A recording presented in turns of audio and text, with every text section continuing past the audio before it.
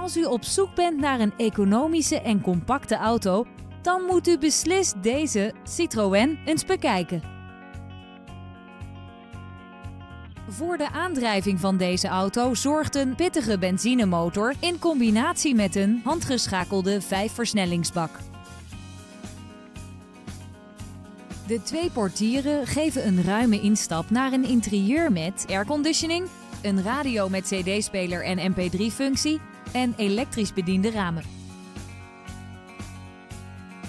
Als u wilt kunt u een proefrit maken met deze Citroën. Bel ons nu voor een afspraak.